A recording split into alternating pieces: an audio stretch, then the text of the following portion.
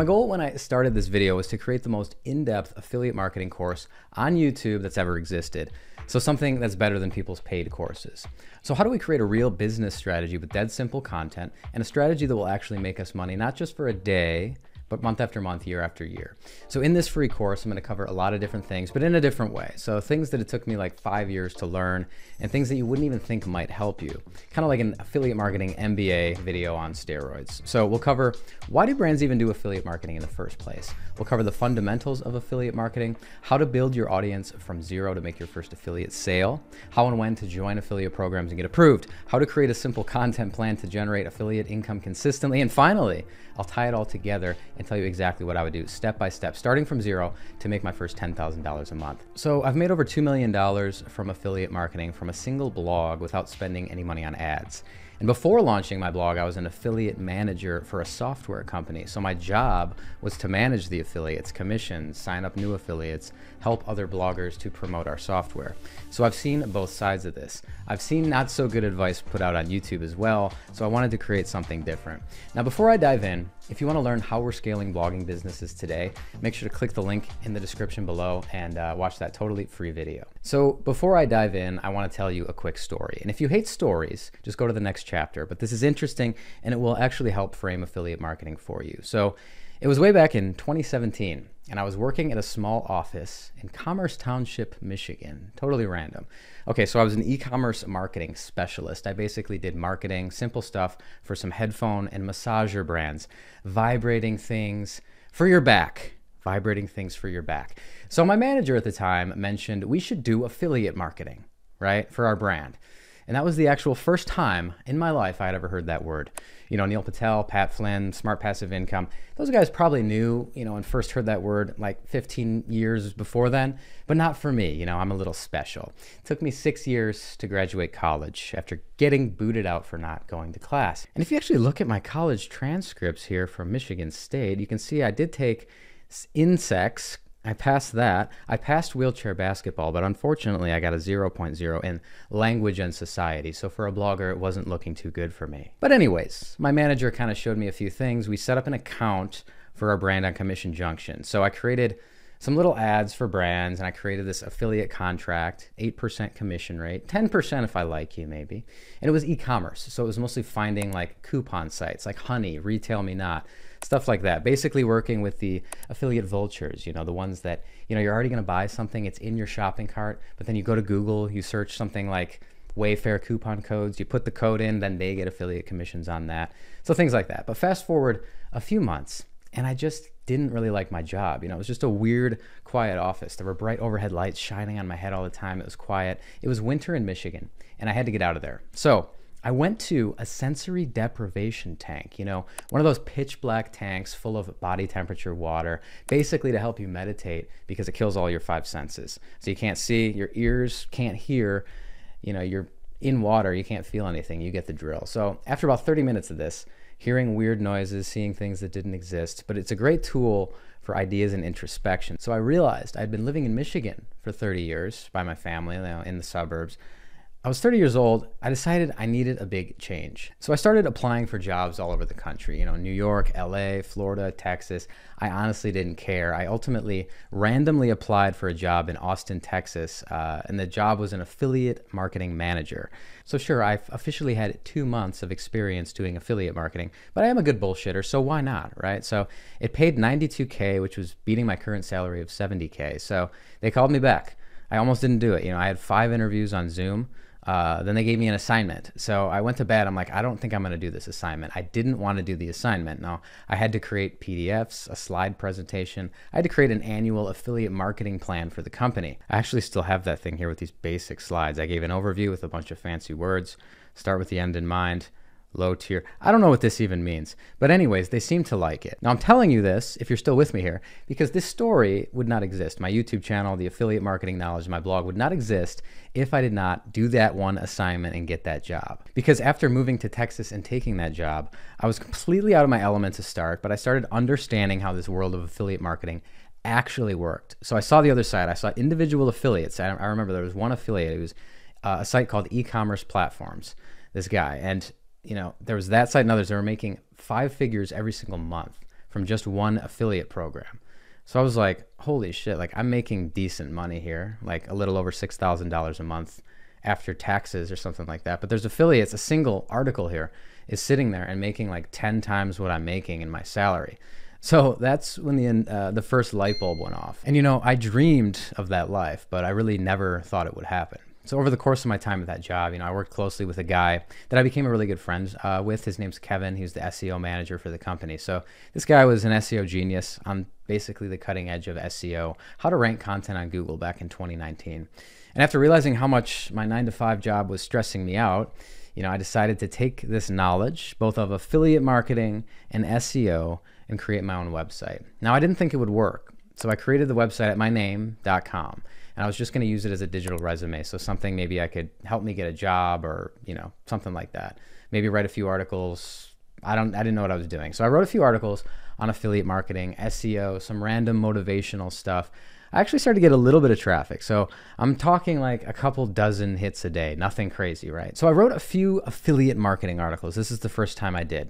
January-ish of 2019. So I wrote some on like the best email marketing software, e-commerce platforms, web hosting, the obvious stuff. And then I found a random one on the SEO tool Ahrefs, and that was podcast hosting. To my surprise, the article on podcast hosting started getting a lot of traffic. So I kept updating it, making it better, doing guest posts, sending links to it. And over time, you know, it shot up the charts, and within about six months, I was ranking number one for the keyword best podcast hosting. So like whatever, dude, who cares? No big deal, right? But let me show you what happened. So if I look here, April of 2019 is when it started making money and it was $14, 110, 270, and the revenue kept going up to thousands of dollars, peaking at around 6,000 a month and it just continues going up and that's 2023, right? So that was a big change. It was actually life-changing because it gave me the confidence to both write more articles and also to leave my full time job for good. So I left my job. Although I did throw an epic Game of Thrones meeting for the whole marketing team, knowing that I was leaving. Zachary, you've always been a lady. It's time for you to become a sir. Are you ready? This is a real sword. Be careful. Don't move your head. I've had a lot of wine. So I started the blog in January of 2019. By July, I quit my job for good. Then some crazy stuff started happening. So I found a few other uh, opportunities at the time with Ahrefs, uh, best webinar software, best online course platforms, and a number of others because I knew the exact on-page SEO strategy. I knew how to rank this content on Google and become number one. Now, between these articles, I was making over $50,000 a month, and it was just going into my PayPal account. And I wasn't spending a dime on ads, it was just all organic traffic. And we can see here, this is one affiliate dashboard just for PartnerStack, 1.1 million. Started joining in 2020, and then you can see it's just consistently about $30,000 every single month. Now, what happened next in this affiliate marketing world was interesting. So I ranked these articles between number one and number two on Google for three and a half years, and the commissions are all recurring. So as long as the customers remained customers and paid through my links, money would keep coming in. Now, what was interesting is how all this played out, and I couldn't really have predicted what happened next. So in 2022, I was getting kind of paranoid. You know, there was so much income riding on these few articles and these Google rankings. So I had so much money coming in, and I had to diversify. So that's when I talked to my buddy, Colin Ship, and we started he's now my business partner we decided to start this youtube channel. So affiliate marketing was my first revenue stream to build all the other ones. And now we have you know this youtube channel um, to over $100,000 a month. The blog's running and all these different opportunities and income streams. But the unfortunate thing that happened is the competition on blogging kind of caught up with me. I was in a super competitive niche. So I was writing about software, right? I was writing about blogging, affiliate marketing, uh, and all of the software. So like CRM, AI, AI tools, all types of project management software, all that. And at its peak, my blog was making over $100,000 a month just from this one blog ranking content, right? So then we started writing about all kinds of stuff, finance, crypto, crypto wallets, NFT stuff, and we were making affiliate commissions galore. We were ranking for a lot of different stuff.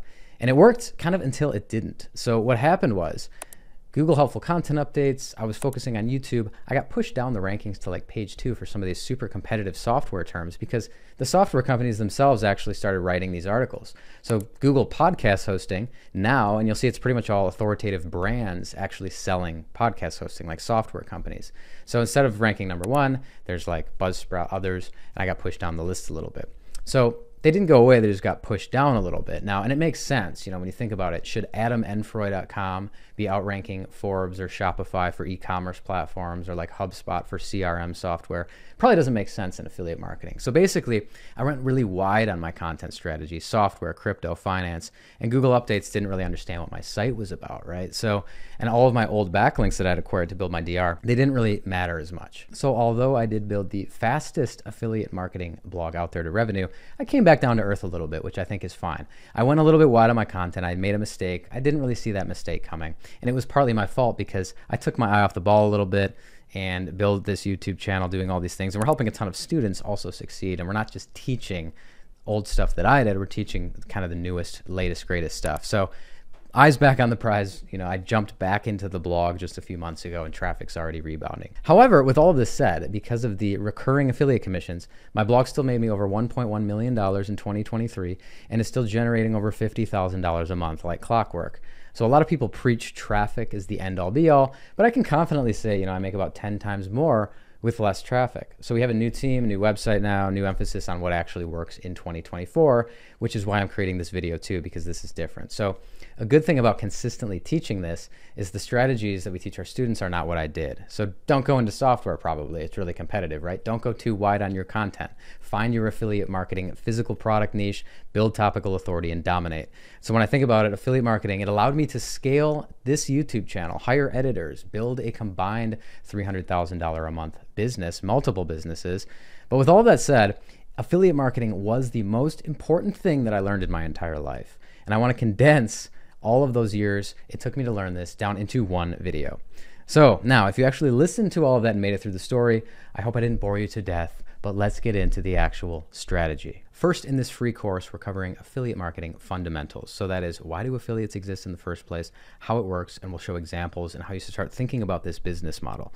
So first, let's go to Google, and I typed in best hiking poles. Random thing, right? Any type of product search, including the word best, signifies buyer intent because we see Google has sponsored products here, and there's blogs, Gear Lab, Clever Hiker, the New York Times, Outdoor Life, Travel and Leisure, Reddit, and some others, right?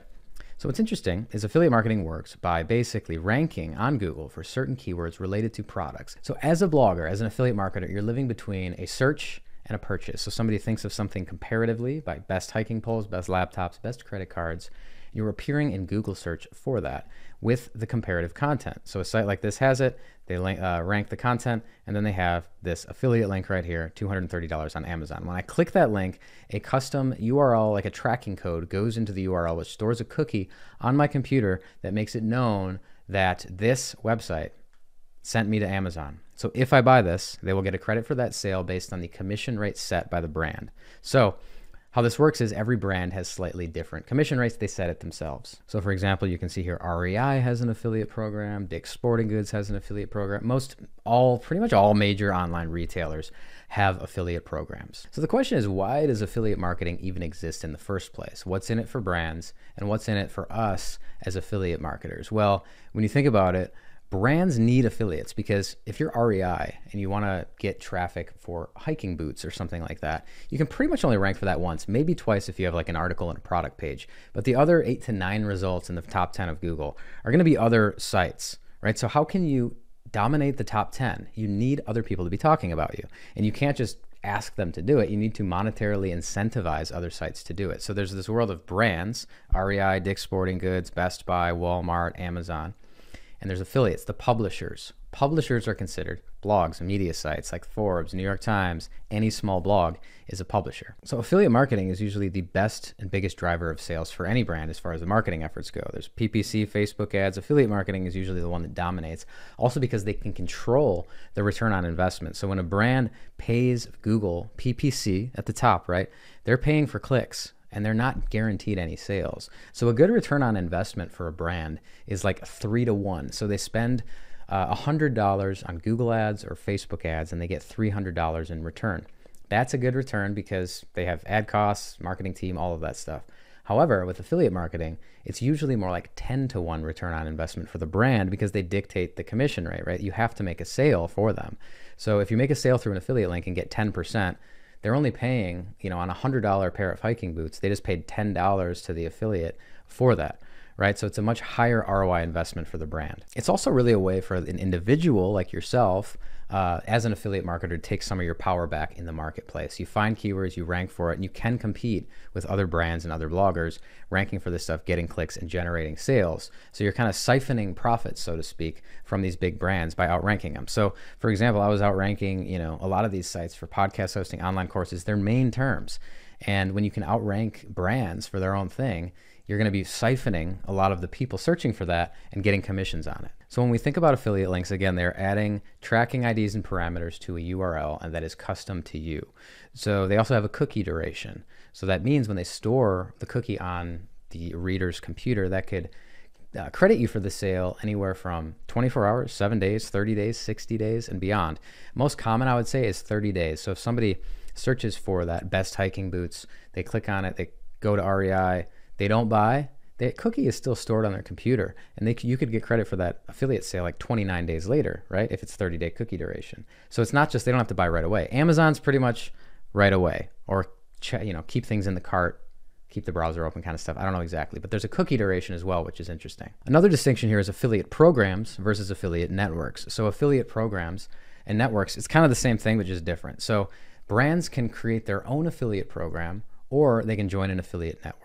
So, for example, somebody like you know Nike could have their own affiliate program. They could use their own software, like Refersion or one of these other ones, to have their own login experience somewhere at Nike.com. The affiliates log in to Nike.com. They see their clicks, commissions, sales. They put in their PayPal account. They see all of that data somewhere in you know one area from Nike, right? If Nike joins an affiliate network, now they're in this big marketplace. So an affiliate network is like a marketplace where all brands are in. So it's kind of the best of both worlds because if you have an affiliate network like Impact, for example, you could have Nike in there maybe, and you see them, affiliates can see them in the marketplace, join the program, add their links, grab all that stuff, and it's easier to manage for the affiliate manager. So I had like BigCommerce, we were in Impact, and it was pretty simple. You would just approve and deny affiliates in there, look at their site, see if it's good, approve, deny put money in, fund the account, uh, add ads for them, text links, and all of that stuff. But it's very easy. So to join the program, it's really simple. You either like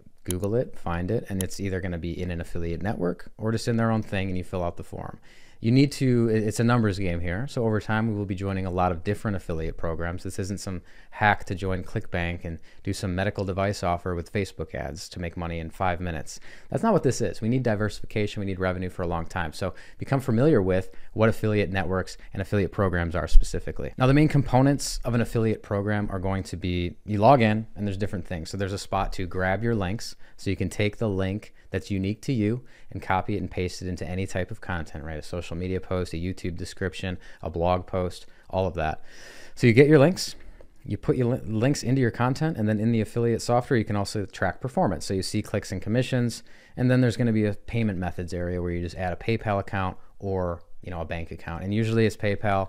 You don't need a business necessarily. You can be a sole proprietor but you do need to pay taxes if you make over $600. So, affiliate marketing, the business model is super simple. You're promoting brands with a link, sending traffic, and getting paid commissions. So, average commissions in general are dictated by the brand itself and the type of product it is. So, for example, if it's a television that's like $5,000, electronic brands are usually lower, like maybe 3 to 4%, even 2%. Uh, if it's clothing, maybe it's 10%. 8 to 10%. If it's outdoor products, 8 to 10%. Pretty standard stuff. If it's software, that could be recurring affiliate commissions. So that could mean somebody signs up for a monthly subscription, right? Because software is monthly, you pay every month.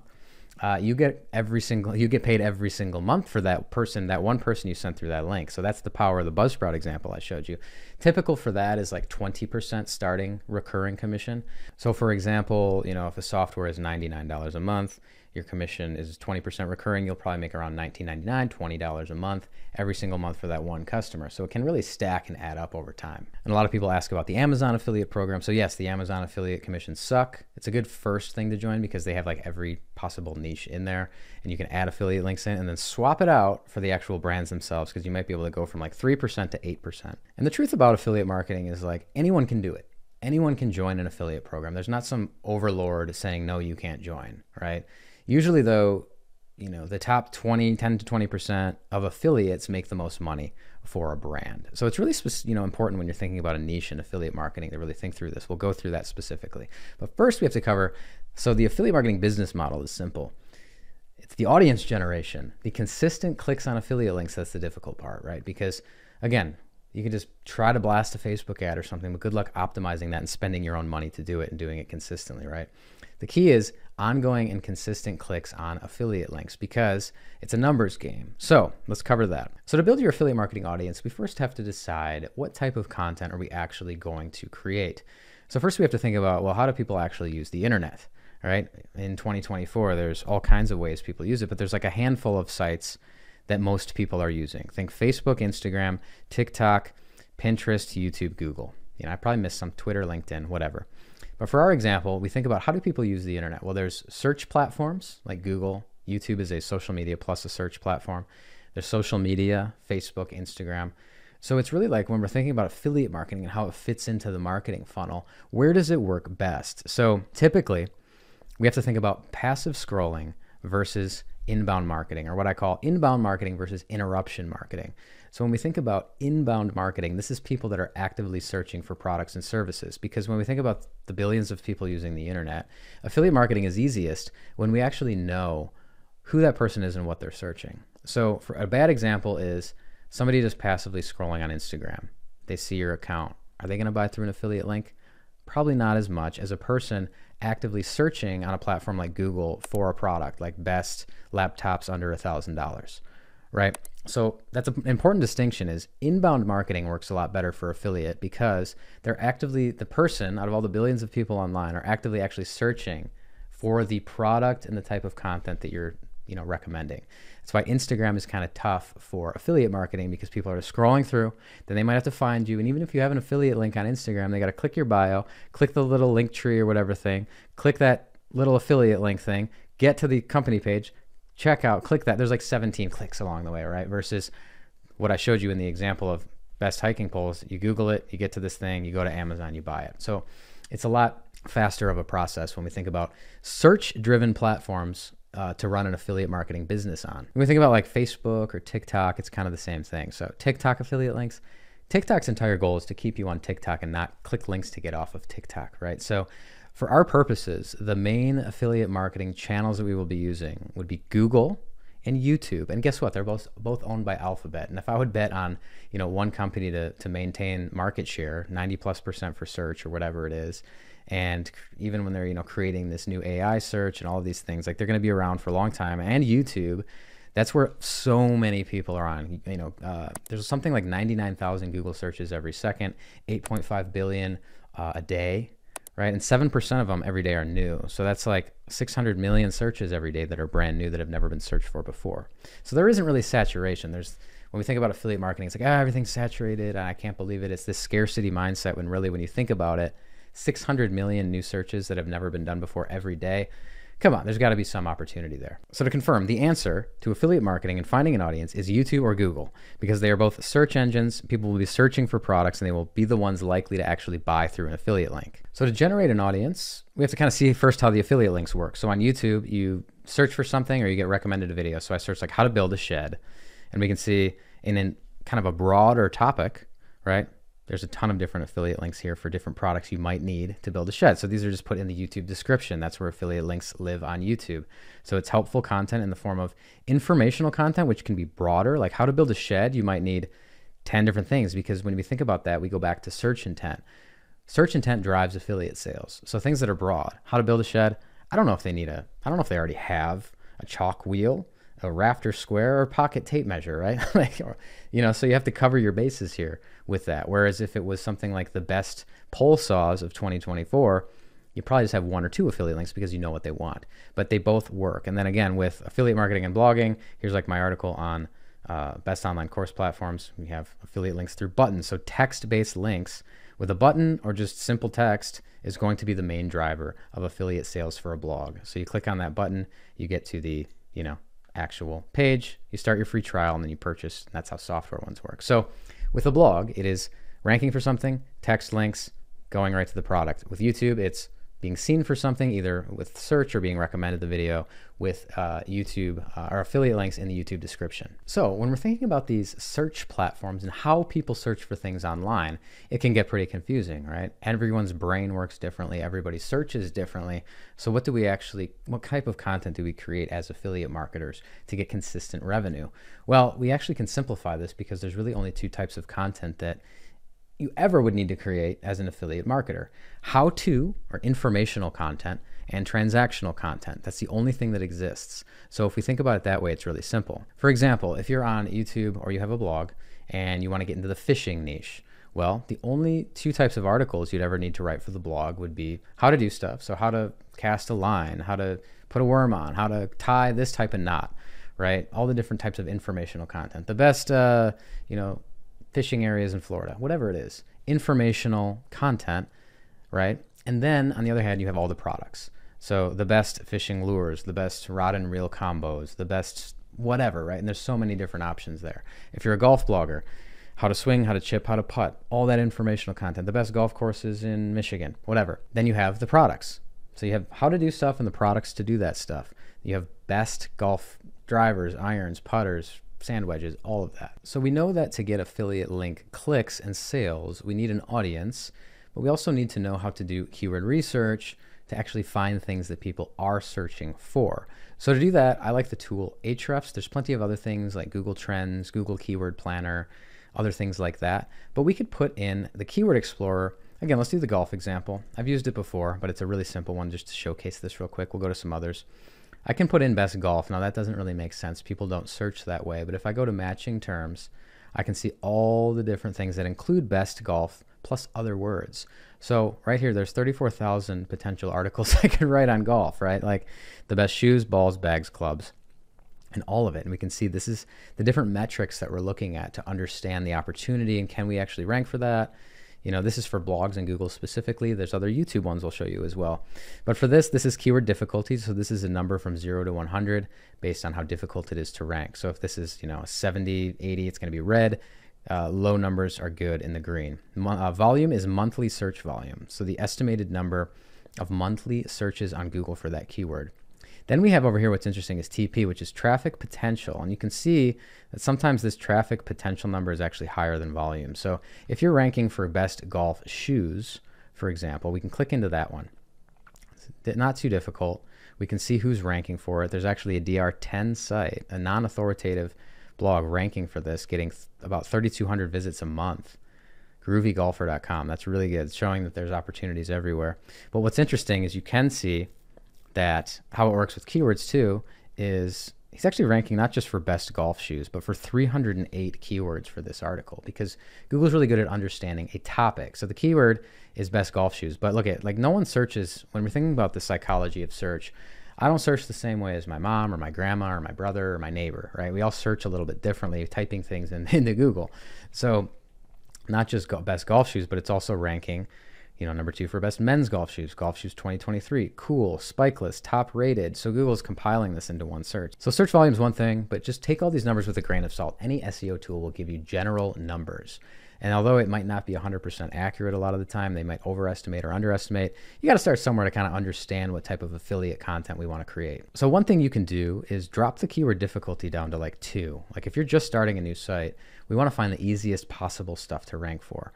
So, for example, best golf shoes for walking is a lot easier than even just golf shoes. But we can see waterproof disc golf shoes, walking golf shoes, all of that.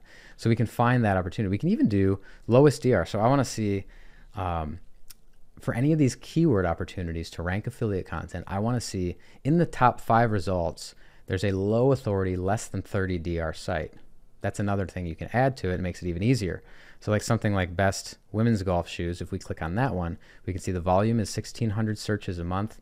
The difficulty is easy. Yes, there's going to be some tough sites in there, but then you can see, and this is what we're looking for, the low authority sites that are ranking for that affiliate keyword like golfhq.com of 31 and ducadelcosma.us with 25. Let's look at a tough one like best software, and we can see all the different types of software. Now we can see the difficult stuff, right? Antivirus software, tax software.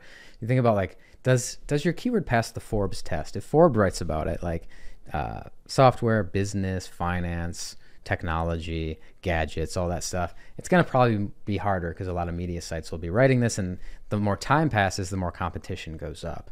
So we can see some of these are hard, but there's still, even in software, there's opportunities. So let's drop it down to five and see what we can find. So things like best free video editing software.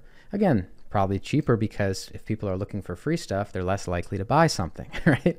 But uh, best CRM software for hotels. That's an interesting one, right? So again, it's all about spotting these best opportunities. Best is the seed phrase. Best plus your niche spot uh, signifies buyer intent because best is a comparative term. We can do all kinds of different niches in here. Best fishing, tons of different opportunities. Twenty-seven thousand here. Best kayak. You know, you can do all of these different ones to just showcase how easy a lot of these are. Best fish finder for kayak. It's just like when you start looking at this, if you don't know how to do this and you, you think affiliate marketing is too hard, you just don't know how many searches are actively done on the internet every year, right? So there's so many different things in every niche. Like you can take something like even um, best credit cards, like something super competitive, and then you can probably spot something even with a difficulty of like three, right? Like something easier would be best credit card for young adults, right? Best credit cards for teens, best credit cards for couples. So every single niche has affiliate opportunities. It's just knowing how to find them. And sometimes it can be a little bit more difficult to know what the seed phrase is. So, for example, if you're in fitness, you could put in something like best gym, right? Or best fitness, and it might be like fitness tracker, fitness watches, or like home gym, things like that. But you might not know what it is. You might have to put in something like best ab machine or best machine and find it that way, right? And find different keywords. Or like if you're doing power tools, you can't like just put in best power tools because that's you're not going to get most of the opportunities. But you have to know uh, what the product is. Best chainsaw, for example. Now you have dozens of articles you could write specific to cordless, battery powered, a sharpener, mini, electric, and all of it. So you can find these, and these are articles that you can write. Now, the important distinction here when we're creating a YouTube channel or a blog is that unfortunately, we can't only create these best posts right? Then we would look kind of like a shady affiliate site only. Hey, they're only recommending products. They don't have any other information on their channel or their website, right? So unfortunately, you can't really do that anymore. You might have been able to get away with it five or eight years ago, but it doesn't work. So to do that, we need informational content to prop up our affiliate posts. So to build a real business around this, we need a content strategy. And like I showed you before, this is really simple to find seed phrases for that informational content. Informational content, besides affiliate marketing, it's not going to convert as well. So for example, I have posts on the best web hosting. People are looking for web hosting. They know I know that they are. If they landed on that, they're much more likely to buy one of those uh, through one of those affiliate links. I tried uh, I tried a different way. So I have had an article on the best web uh, business ideas. So for best business ideas, I don't know what type of business they want to start. They could want to start a website. They could want to start a babysitting company or a pet sitting or anything, lawn care, right? So I tried adding number one business idea, start a blog, start a website. Bluehost affiliate links, all of that doesn't really convert the same way because the search intent is not there. So the informational stuff, how to do stuff, ideas, posts, things in fitness would be like exercises and workouts. If it's food, it's recipes, right? They're not going to buy something through a recipe.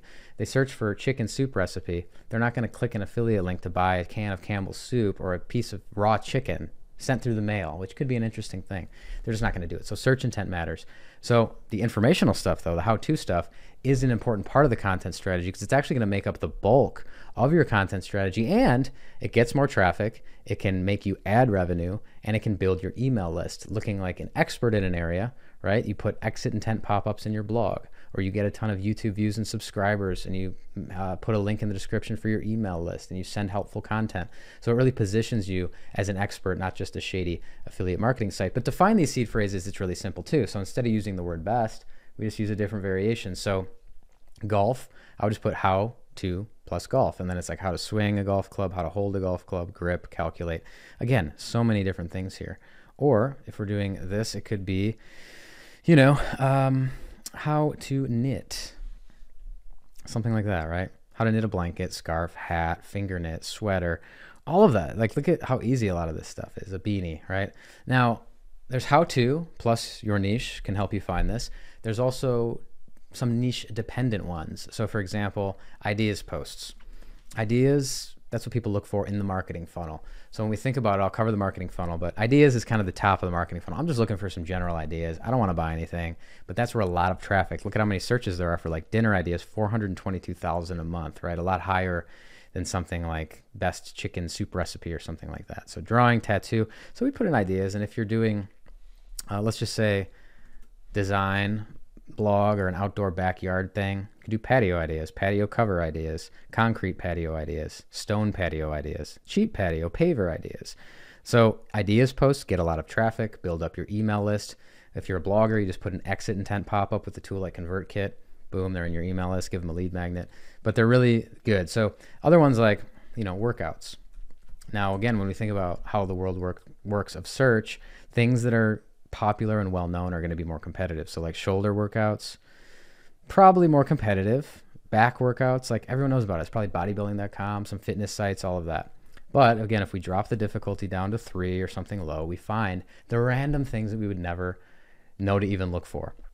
Cable shoulder workouts, CrossFit open workouts, baseball workouts for pitchers, right? You just start niching down and finding these different things. You can even get a little creative. I mean, just think about like a seed phrase that would generate a lot of searches. So if you're in the music niche, you want to create music content, you could write about the best electric guitars, acoustic guitars, all of that. You could also do I put one in like how to play on guitar. So you know they're going to fill it in with other things. So how to play Sweet Home Alabama on guitar, how to play Stairway to Heaven on guitar, how to play fast car on guitar. A little Tracy Chapman for you. You got a fast car. There's another tool for YouTube, vidIQ. So vidIQ, you can do kind of the same thing. It just looks a little different, but you put in like best plus your niche, click the matching terms, and you can find them also like best camping tents, gear, all of these different things. You can just put in. It's a little bit better to go broader on YouTube because you can really talk about anything.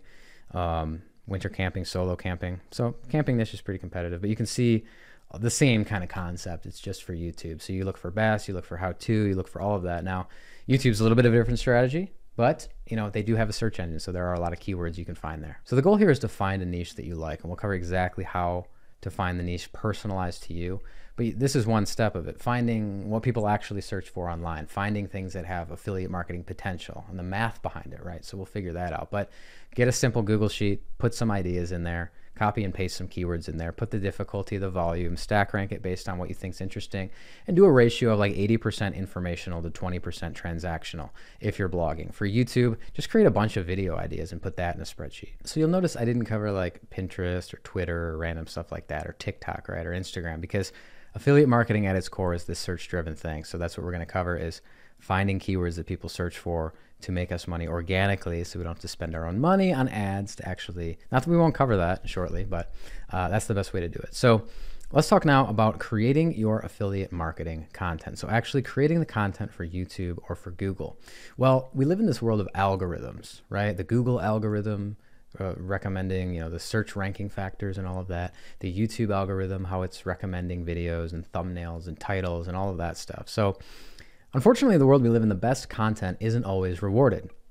It has to be the best content that's also optimized for the algorithm. So, for example, if you had like a really amazing YouTube video um, that had the best information in a niche, but the thumbnail sucked and no one clicked on it, it wouldn't work, unfortunately. It just wouldn't work. Same is true of a blog post. You wrote the best possible, most in depth guide related to something doesn't matter, right? You need to know what Google likes to see in order to rank that content for people to see it. So we live in this world of algorithms, which are getting smarter. Like Google's getting smarter when it comes to, well, maybe not ranking stuff sometimes, but at least understanding language processing and the words on the page and all of that. But we have to cover the algorithm. So the YouTube algorithm is really simple, right? It's title and thumbnail to get people to click. So the click through rate how many people, if they see it on their homepage, are actually going to click on that video, and video retention, so how long they actually stay. So when we think about YouTube, it's an ad-driven platform, right? Longer the video, the more ads that play, the more you get people to stay on YouTube and watch your video longer, the more um, it might get recommended because more people are watching more ads for your video more than others. So those are the two components of YouTube. It's mainly click-through rate and retention, right? So that's the thumbnail and title and the video itself. So there's ways you can optimize that. But Google's different. So there's on-page SEO. So where you're putting where are you putting that keyword in the URL, in the title, throughout the content, how many times, where, how, right? Plus different things like is it helpful to human readers? Do people actually like it or is it just a really crappy article. Now, again, we don't have to be good writers to be affiliate marketers because we're assembling content really in the exact same way every single time in a simple way. And we have plenty of AI tools we can use too. But ultimately, for Google, the main ranking factor here is ending the search journey. What that means is they click on your article on the topic, they don't go back and then click another one. So they click yours, they're done. They do a different search or they leave Google completely. That's the ultimate ranking factor, and we can figure out ways to help with that. But first, I want to introduce you to the content assembly line. So, an assembly line process for this affiliate marketing machine is the best way to go. We can't just create one article or one YouTube video and hope that it goes viral, right? Virality is not a business strategy. I've never made a single viral YouTube video or viral blog post or anything like that. I'm not the crazy rich persona that you see some young 25 year old with a million views on YouTube. However, I can say that I probably make a lot more money than them because we have back end systems, strategies, and we actually do real teaching. So, anyways, the blogging content assembly line consists of keyword research. So, you just did that, right? You can do that, do keyword research, find what you're actually going to write. Um, then you create a minimum viable post. So you can't really do this as much on YouTube because you have to create the best possible YouTube video. Um, you can create a minimum viable studio, like a setup where you just turn the lights on, turn the camera on, and you're good to go, right? You script something and you can shoot it. So that's really important there. But for content, we have to have consistent and ongoing content to get consistent and ongoing attention and affiliate link clicks. The good news with Google and YouTube is you build this backlog. So it becomes passive over time. Now, I don't like the word passive income, but it can become passive over time because on Google, if you're ranking for something, you're ranking for it, right, for a while and it just sits there and it gets clicks every single month. Now it's not totally passive, you do have to update it sometimes. But with YouTube, it's similar. It's not like you just create a YouTube video and it dies off. If it's a keyword based YouTube video, it could be found in YouTube search for years. So we get like between 350 and 500,000 views on our YouTube channel every month, mostly just from old stuff that people are finally finding, right? So YouTube views actually, they don't go like this. It looks just more steady. So you're getting this backlog of content, which means you need a lot of it, which means you need a system to create a lot of it in a simple way that's kind of appeasing the algorithm while making it easy on your life. That's really the simplest way to look at it. So when we think about what content is, well, it's kind of simple, honestly. Whether it's blogging, YouTube, infor- informational content, transactional, you're going to make a list. So the world loves lists. I go through my day and I look at a list. What do I have to do today, right? I check things off a list. Well, all content online is pretty much lists. Even this very video, I'm going through a Google Doc that you can't see. I'm kind of looking and framing what do I have to talk about in this order in these main sections, right? To, to tell this in the right order in the right way so that it's most understandable and helpful to someone who actually sits through it. Um, blog poster lists, seven best CRM software um, even a how to guide, how to start a blog, step one, step two, step three. Those are lists. YouTube videos are lists, blog posts are lists. So you just think in simple lists. And the truth is, people's attention spans are so short that list items often should be pretty short too. So you're not writing some crazy Hemingway esque, long, poetic thing about like the perfect way to do something. It's simple, to the point content, and there's AI tools to help you. So again, we're doing this because we want to make the most progress in the least amount of time. When we think about it, it's like if I have 10 hours, 20 hours a week I can spend on this business on the side of my job and other my family, all other responsibilities. How do I make the most effective use of that time? Well, I'm not going to spend all 20 hours writing the perfect blog post, right? You could do it, but it just won't lead to revenue, which is the entire goal of a business. Instead, you create a system to create a content assembly line that's replicatable and you can do it over and over again. So I know this video is about affiliate marketing and we haven't talked about how to make money with it yet necessarily, but you can't yet because you have to publish the content, index it, and move on. You notice we haven't talked about adding affiliate links into anything yet. It's because we need to get the content to get views and consistency before we have to worry about adding the links in. The good thing is we're not losing out on revenue. We're just waiting for it to get traffic, then we can add the links in. So when it comes to a content assembly line method, we let's talk about blog posts first. So we have a target keyword. Let's just say it's best webinar software, something that I wrote years ago. Um, this one made a lot of money because it was ranking right when COVID hit and like Zoom was taking off. It was making thousands of dollars, like some days it was making over a thousand dollars a day, but it's died down. no one really cares as much about this word anymore. So much like keywords search volume changes, niches change. Things come and go, right? Zoom super competitive and interesting now, but maybe it won't be in 10 years. Anyways, so when we're thinking about the target keyword in our content assembly line, it's a really simple process. We edit the keyword put goes in the URL. It goes in the title in the form of this, right? You, uh, adding words into the title is always a good thing. You have the number, the target keyword, and then what I call search intent trigger words. These are extra words you add to the end, not clickbait, but making it more interesting. Um, so you have an introduction, you have an H2 heading. So an H1 heading is the title, and H2 heading is the first thing. And this is what Google likes to see. They like the H2 in the form of a question. Because if you think about it, if you just wrote an article and it was all paragraph text and it was all just this size, Google wouldn't know what to prioritize or what to show or how to show it in the search results or featured snippets and all that. But when you do it in the right way with H2, H3 headings, and paragraph text, it makes uh, it a lot Google's life a lot easier. So H2, what is the plus your target keyword? And then you, you can do this bulleted list or not. It really doesn't matter so much. But then I have my list. Number one is an H3 heading. That's because um, your, your question is an H2. The list items are H3s. Then I have this fancy looking box here. You don't really need that. There's an affiliate link here. Then you just have your main content. So you have it pictures, features, user experience. I've got some pricing, what I like, dislike, and a button. But you'll notice number one is the same as number two, which is the same as number three, which is the same as number four. So once you have your format, then the products are all the same. So it's going to be intro, your list of products, conclusion. It's really that simple. Now, yes, you can to affiliate articles optimize them to all hell, right? We can add crazy boxes, pros, cons tables. We can uh, add things, you know, underneath the main list, like other pictures and what are the benefits of using this thing and and other things. But you know, that stuff you can do it later. You don't have to worry about it in the content assembly line process. We don't need to focus on that too much. So with on-page SEO, we're optimizing the article for this keyword. So we have it in the title and the headings, right? A couple headings. What is the best? And then maybe what is it? Very simple headings. But then where else do we put it? Well, we use a tool like Surfer SEO. So here's one on learning management systems that I created, just as an example.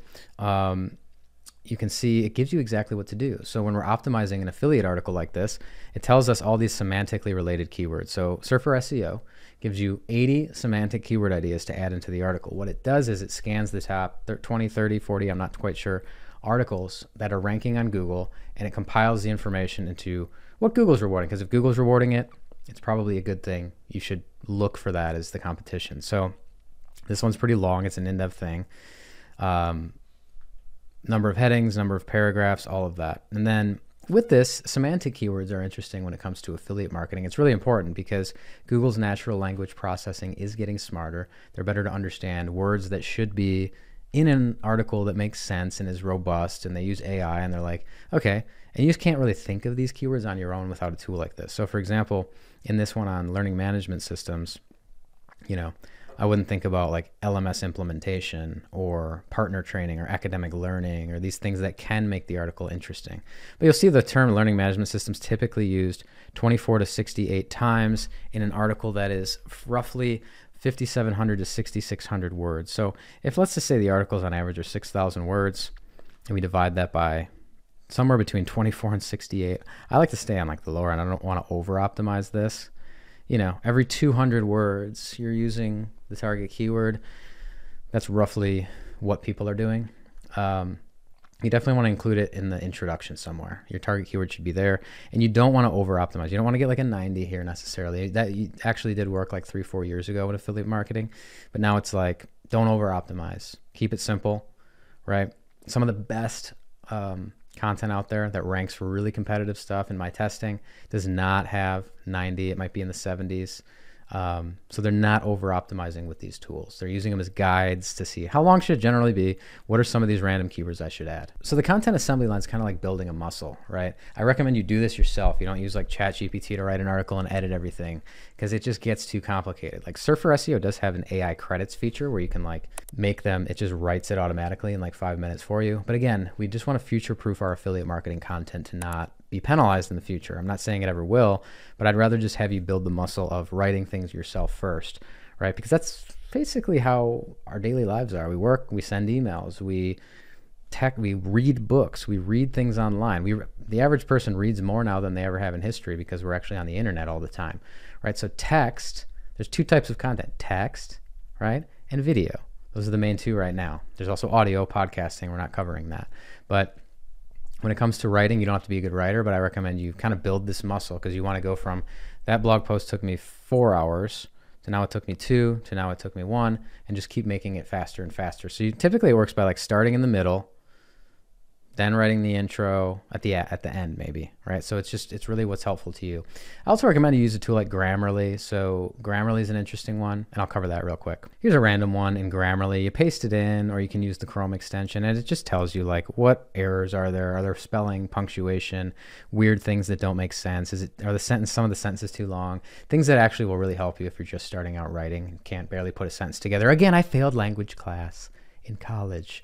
Okay, so it can give you a good score here. I actually recommend you don't get it to 99. It's almost too optimized again. You know, I've, I've done some research and looked at some of the top hard health related affiliate marketing articles that are ranking for things around best fitness things and things that affect your health. They're usually like in the 80s here, and they actually do have some issues and errors because actually that makes it almost seem more human when you have a few errors, which is weird, but that's the world we live in. So that was blogging. Let's talk about the YouTube content assembly line. So first step of that again is keyword and niche research and uh, video ideation. So for me, like YouTube video ideas are pretty, they come all the time. I don't like sit down and just, this is my hour to come up with ideas. They kind of flow as you're moving through life and thinking about different things. It's easier though when it's like affiliate marketing videos because you're just doing this based on keyword research. You could use vidIQ and then you're finding best so and so in your niche. And what's the interesting part about YouTube is there are actually a lot more affiliate opportunities in really really competitive stuff according to Google. So, for example, to rank a article on Google for best credit cards, you, it'll never happen. There's NerdWallet, Chase, probably big financial sites. A random blog's not going to be able to do it. There's too much authority and expertise needed when you think about the content that can rank on Google, it's things that aren't as risky, right? If you're just starting a blog, you're not going to rank for things that can affect a person's money or health or life. So like if you want to rank for like how to get over COVID-19, right? Like that's all going to be health healthline government sites, CDC probably, not an individual blogger. Same with like knee pain or back pain or medications or supplements or money, things related to open a business credit card or things like like things that affect people's finances or money or health more difficult to rank for. However, on YouTube, you can make videos on the best credit cards of 2024, and there is literally way less competition, which is interesting. I've seen videos where it's like the top five, you know, cashback credit cards of 2024, 100,000 views on the video, a couple affiliate links in the description. I don't know how those do specifically, but it looks like a really promising idea. So YouTube's interesting. There's a little bit more opportunity in just randomly everything, whereas blogging, you have to be a little bit more strategic in your keywords. So with YouTube, though, the content assembly line is really getting the ideas down, putting them in a spreadsheet, and then there's really the stages of creating a video are scripting, shooting, editing. So the longest and most time consuming part of blogging is the writing. The longest and most time consuming part of YouTube is can be the editing. However, we're now in this world where it's actually kind of easier because people are sick of flashy, crazy edited videos. They actually like more just real stuff, talking longer, less editing. So, but there's three phases pre production of scripting, shooting the video, and editing the video. So, to speed that process up, what I would try to do is like I have a Google Docs for my scripts. That probably takes a lot of time because it's like you're planning the video. Like planning this video, I have its Google Doc. I don't want to show it to you because you're gonna get spoiler alerts, but it's like 11 pages of stuff right? Full full written pages of just ideas and notes. So that took me. I did it yeah yesterday. So I mean, a couple hours. It wasn't too bad, but I've done this for a while now. So uh, that's part of it. Shooting the video is actually easy. You just take it, shoot it, however long the video is. You know, if it's a 15 minute video and you're not used to being on camera, it might take longer. But then you get get it to editing, so you can have an editor or someone else do it. But it's just really like blogging and YouTube from the content perspective, it's a little bit of a different discipline. Blogging, you can just sit at your computer, chill, be anywhere and do it. YouTube, you're more like in one location, batching your time. So how I would prefer to do it is like I do YouTube four days out of the month. That's be ideal, and then I'm done, right? And then I spend all my other time blogging. That's because I do both. But it's a different kind of discipline. You can batch your YouTube videos, send it off to an editor if you can hire one, or just batch your time on YouTube. And then blogging is more like just whenever I'm free, I'll work on this content assembly line. So it's a little bit different. Now, when we're actually creating the YouTube content, we need to kind of think about how do we retain people? How do we make it interesting? Well, you either make the video just a lot longer or you really focus on like the most interesting possible stuff. You always want to front load the interesting stuff, keep people engaged throughout the content. It's kind of tough. We want to teach stuff, right? Because if we're teaching, we can talk about the best products, we can teach about how to do stuff. So it's really important distinction on YouTube that you want to teach, not entertain not only entertain. Hopefully, I can entertain a little bit, but it's more on the value of the teaching. So, when it comes to the content assembly line, we covered blogging, YouTube. I want to do a quick little aside, a fun little aside that you might not have thought of or know about, and that is PPC affiliate marketing. So, Google pay per click affiliate marketing, this form of advertising, which is an entirely different business model. I actually ran into this when I was an affiliate manager in Austin, Texas. There was a company that was generating a ton of sales for the company by doing these PPC comparison charts. So they would bid on keywords on Google. It was they were bidding on like best e-commerce platforms, website builder stuff, and they would send it to a simple landing page comparison chart of the top 5 and they were all affiliate links. It wasn't a long blog post, it was just a chart. And it's an interesting business model. It's a completely different one. It's one I don't really recommend you start with because it can be very expensive. You're going to be spending a lot of money on your own uh, ads to rank for this stuff. Uh, but I want to show you an example. So an interesting site that we worked with too was Consumers Advocate. So they have all kinds of stuff here, consumersadvocate.org. Here's one on like life insurance. So this is all the traffic they got from paid ads. So they, you know, this is an estimate. I'm not going to say they did this, but probably $300,000 on life insurance. So when I search for best life insurance, there's ads sponsored, right? State Farm, Ethos, Policygenius, Best Money. I did find uh, find Consumers Advocate. They're down a little bit because it's probably pretty competitive, right? Life insurance. But then you get here. I'm not going to click on it because that would cost them money. I'm gonna I'm gonna be kind to them, and I'm gonna click on it here. But it shows you how old am I? Oh man, I'm in this one. it's not too bad. Um, my computer always thinks I'm in Chicago. But anyways, and then you can see the simple comparison chart, right? So it's not a full blog post. It's just this. So they're bidding, it's kind of arbitrage where they're bidding on the keyword to rank really high, sending it to a chart, sending it, uh, getting affiliate link clicks that way. Now, it can work. However, you need to be an insane negotiator for higher rates. I'm talking, you need to talk to the affiliate managers and get them to pay you like five to 10 times what the normal commission rates are because that's the only way it works. And the only way it works is if you send a high amount of volume of clicks to them because that's what they want. They don't want to increase commission rates for somebody that's just barely bidding on keywords and making a few sales they'll increase your commission rates to a much higher number, but you have to talk to them and then you have to generate a lot of sales. So it's an interesting business model, but it's not one that I recommend for beginners because I don't want you out there spending a ton of your own money on ads on a strategy that's tough. Unlike maybe some other YouTube channels that recommend you just plop some ad up on Facebook. All right, so we covered a lot so far. We covered finding opportunities and keywords, creating the content. Let's cover joining affiliate programs and making the first sale. So you have your article, you have your YouTube video, you it, you post it out to the world. You have a standard procedure for creating content. If you can create one to two blog posts a week, that's pretty much the minimum to enter the game. I recommend you do as many as you can and just learn the process. YouTube, if you can publish one video a week, you're in the game. So start with that. And then this is what we're going to cover. So joining affiliate programs is really simple. You Google the program, you fill out a form, and they approve you or not. Now, there's usually is a manual person approving these, a human being on the other end saying yes or no. Some are automatic, but not much. I've joined like 300 plus. Mostly they're going to review you. So you put in your name, your email address, your website, maybe a sentence or two about what your site's about or your, what your YouTube channel's about. So you can kind of let yourself shine a little bit and be honest. You could say, you know, I'm a brand new blogger. I started this website. I'm actually seeing some early traction in your niche related to these keywords. Um, would love to join you. If not, I'd love to talk, blah, blah, blah. So you can make it a little bit more personal that way. Definitely use a domain name email address, not like a Gmail, but like use Google Workspace or something to, if you have a website at a .com, create it at that .com website with Google Workspace. It's like $12 a month to create that, I believe. I'm not totally sure. But you fill this form out, right? You get approved or not. Then once you're in there, you can take your link. And if you're a blogger, what you would do is you could take it and if you're, I recommend WordPress, right? I always recommend WordPress as the content management system. You download a plugin called Thirsty Affiliates. It's the one I use. There's also one called Pretty Links. Uh, I like Thirsty Affiliates because you you click add a new link in the plugin. You paste in that long random string of things. You give it a title, so it'll just be that only. You hit save. You can no follow the link because affiliate links should be no follow, and you make sure they open in a new tab in that plugin. What it does is anytime that you're in the WordPress editor, and right next to where you would insert a link, it adds a little TA button. You click that, you search for the link, it plops it in for you.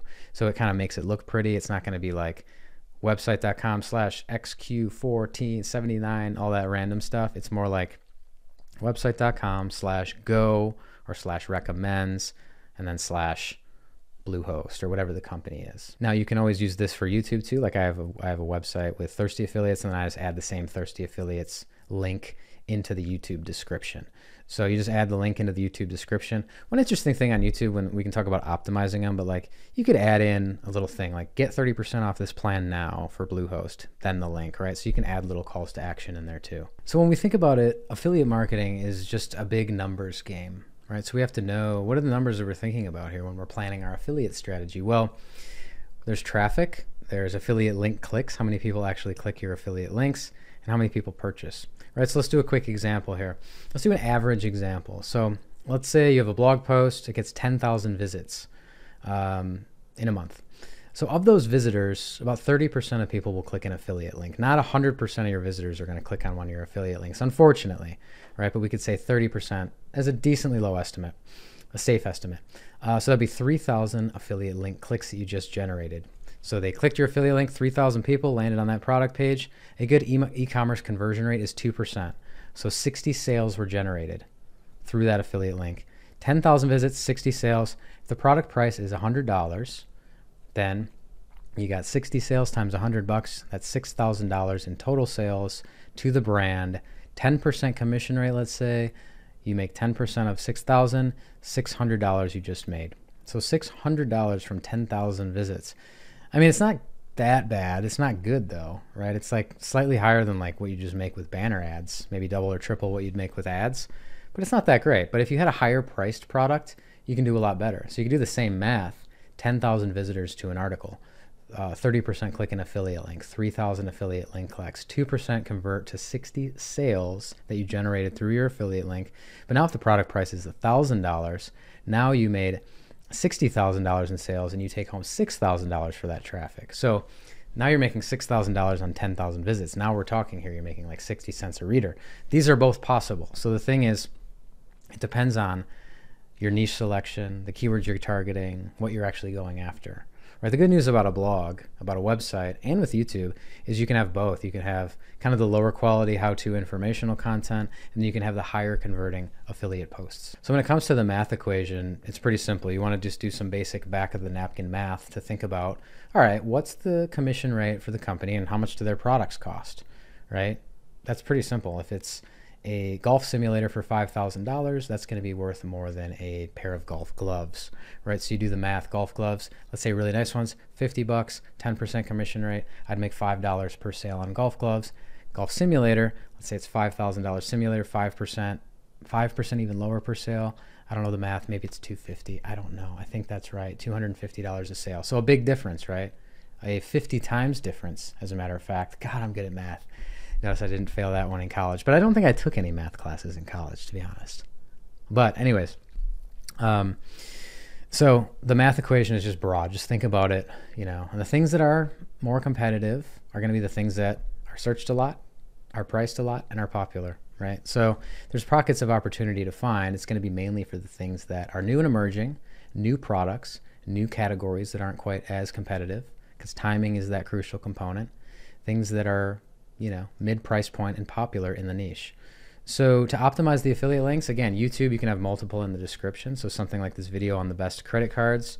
Um, we have here, he has a number of different links to the different Capital One, Chase Sapphire, right? So a lot of different links can be optimized. And then with a blog, you know, you might see a lot of fancy stuff in a blog, like perfect, uh, you know, tables and formats and crazy tables and stuff like that. But really, what converts is just like getting the right people, showing some human experience. Like, look at this one, the best baby carriers. It's a picture.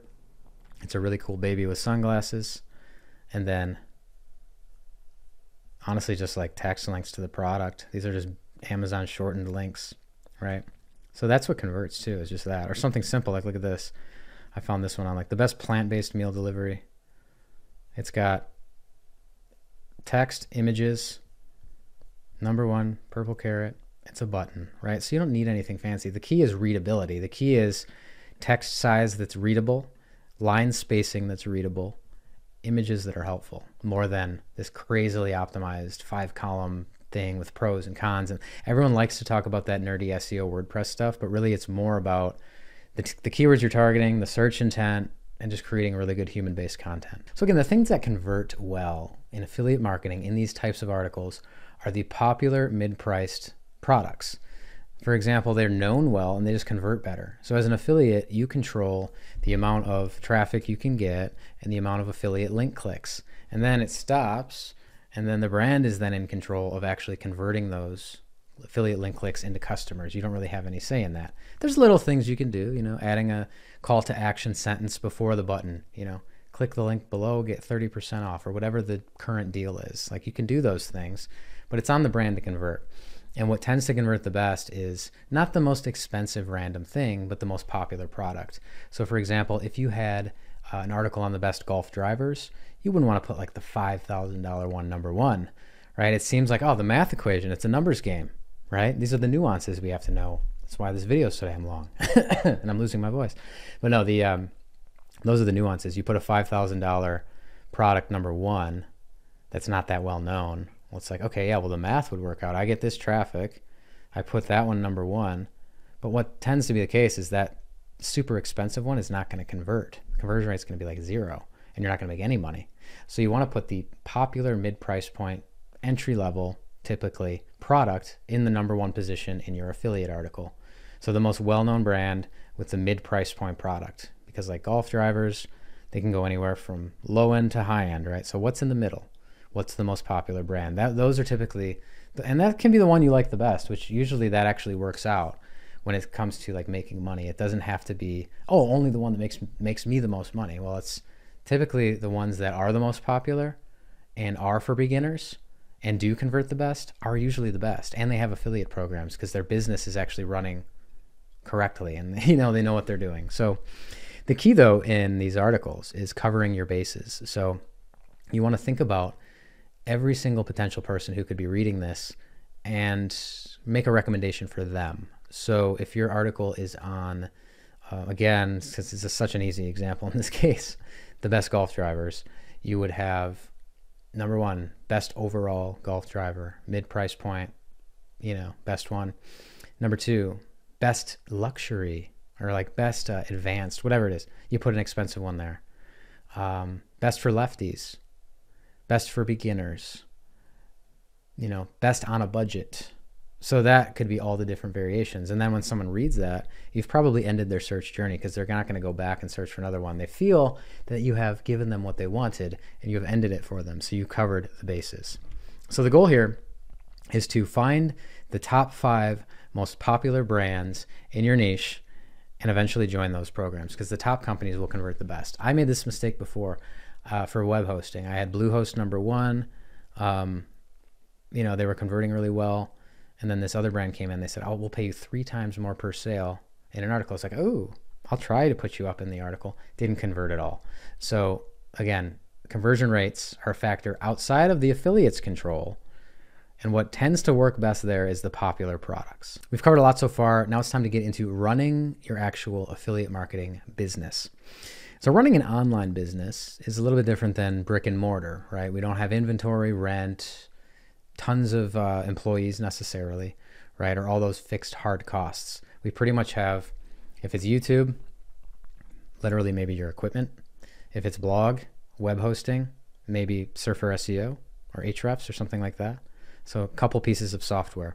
Now running an online business though does require you know you to know some basic business things, revenue, expenses, profit, and profit margin, right? So revenue is the total amount of cash collected for the entire business expenses, um, obviously what you spent, so that web hosting and all of that. Profit is what you take home, or like net operating income, and then profit margin. So, what is the percentage of profit to revenue? So, when you think about running this type of business, you know, it's pretty simple. You have, you don't have to have, again, this is not legal advice or financial advice. This is just for entertainment. I'm not giving you any legal advice, but I'm just saying, like, you can run an affiliate business as a sole proprietor, I'm talking about the US mainly, but uh, you know, you just have to pay taxes on income that you get. So it should all be going to one bank account typically. I made that mistake in my first year of mixing personal and then starting a business account in October of the year. And then it was just like reconciling different stuff tax wise. So what's really easy is just like using QuickBooks and you have um, one bank account and then you just categorize the expenses and you're done. It's really simple. But you want to track those things. You know, you want to make sure you're making more money than you're than you're spending, which is why I'm saying this organic version of content business is way less risky than spending a bunch of money on ads and going in the negative potentially. So, but the good thing about an affiliate marketing business is you can have really high profit margins. So like 90 plus percent I was running with my blog when I had one writer we were making a ton of money, right? So it's really interesting. But then when we're running the business, we have to think about the three types of affiliate categories, right? So the three ones that I consider are like high ticket, software, and then volume games. So lower ticket. So high ticket is you're making more money for every affiliate sale. So think something yeah, like luxury watches or golf simulators. So like over a hundred dollars in commissions for every sale you get. Um, so again, like ten thousand dollar golf simulator, five percent commission, you're making five hundred dollars a sale. Now you only need to get like a handful of these to rank to make some significant money, right? But they're a little bit more competitive usually. So you got to kind of think about it. Then there's the volume game, which I'm saying is, you know, most the bulk of physical product sales fall in here. So this is like you're averaging $50 or less per sale. So think like pet products, dog and cat stuff. Like it's not all that expensive for the most part. Outdoor gear, camping, hiking, things that are generally 100 to $500. Um, an outdoor site would talk about hiking boots, hiking poles, winter gear, snowboard, like a lot of different stuff, right? So these require a lot of different articles ranking to make up the revenue. So if you're ranking number one for best organic dog food, well, affiliate wise, I'd probably want to have a sponsor there actually more than, you know, um, affiliate commissions. It might be kind of low, but it could be a lot of traffic, right? So you're making up for it in volume of traffic and volume of articles in that niche that you're ranking. So that's one. For this to work, you need a volume of articles. Makes sense. The other one is recurring, so software, right? You get paid every single month that they remain a customer. The revenue starts off lower, but it creeps, it compounds over time and is more stable. But however, it's a lot more competitive. So ultimately, you have to look at it. And the good news is, like, mostly it'll be a volume game. So mostly you'll have uh, a number of articles building a brand around a thing. So if you're in kayaking or fishing, outdoor gear, you're ranking, you want to rank a lot of different articles best inflatable kayak, fishing kayak, kayak for beginners, standing kayak, top down, whatever they are, right? Ranking a lot of those. And the good thing is, like, every niche has some high ticket opportunities, like gardening, for example. Like, okay, well, seeds are cheap, gloves are cheap, the hoe is cheap, whatever. Even, you know, some of the more expensive stuff would be like raised garden beds or greenhouses or UTVs or tractors, right? So every niche has high ticket opportunities, but you want to like make up most of it with informational content, volume based articles you can rank, and then throw in some of those high ticket ones too. Now, what's interesting is commission rates are not fixed when it comes to affiliate marketing. So let's talk about affiliate marketing negotiations because I dealt with this a lot in my job as an affiliate manager and also I've done it a lot as a blogger. So remember that commission rates are liquid. They can change. They can evolve and adapt. Usually every brand has like a base commission they give to everyone. The public IO, it's called an IO or insertion order. It's basically this automated automated contract that everyone signs as an affiliate saying, here's our commission rates, here's what you agree to do and not do. Don't like, you know, bid on our brand terms typically. Don't talk negative, you know, don't defame us. Like it's a very simple contract um, that always happens for every affiliate relationship. It's so automated you don't even think about it. Um, but there's usually the public IO, which is the public offer to everyone. Anyone joins in the marketplace or finds the affiliate program and joins it, they get that offer. But then there is custom offers. So, you know, it could be the base public offers 6% commissions, but if you generate some sales, then you get 10%. Or like what Bluehost does is it's I don't know something like you get seventy dollars a sale, but if you get more than ten in a month, you get eighty five, then ninety, then hundred, then one hundred twenty five. So it's usually performance based, the more you the more sales you make, the higher your commission can be. So the relationship between an affiliate manager and the company and the affiliate blogger, the publisher, is really important. It's a win-win relationship. So I promote you more, you pay me more. right? I get you more leads and sales, you pay me more per lead and sale, right? So that's how it usually works. Knowing that usually a 10% commission, I mean, that's only, they're getting a 10 to 1 return on that investment. That's really high. Pay me more, right? So there's ways that you can start negotiating over time once you have content, you're publishing, you have your schedule, you're not stopping that, right? You put your affiliate links in. Now it's time to start optimizing. So what you can do is this is more advanced, but it's like first showing your worth. So you can't just negotiate from zero. I have no traffic, I have no views on YouTube, but I want a higher commission rate. Could happen, honestly, if you promise to promote them. I'm not saying it couldn't, but it's usually good to come with something of value first. So you start with the base commission, you just join the program, right? You start generating a sale or two, right? Um, you want to make sure you're getting some traffic to this thing and generating some sales before reaching out to the affiliate manager. But you reach out to them. Usually their email address is visible in the affiliate network of the software that they're using in the affiliate dashboard. So this is where you begin negotiating. So you want to start with a power position, start negotiating, and you know, start with a major improvement for them. So you want to start the negotiation off right. For example, what you wouldn't want to do is be ranking number one for, you know, best chainsaw of 2024, whatever. I don't know. That's chainsaw. You reach out to the chainsaw brand and you're like, I want to become an affiliate, increase my commission rate.